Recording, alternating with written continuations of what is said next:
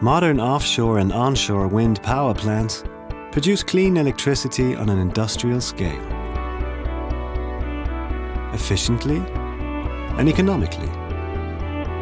Getting the cost of energy down will help wind power gain even more ground. We do so through game-changing innovations and the consequent industrialization of our supply chain. Because we care that wind power is affordable.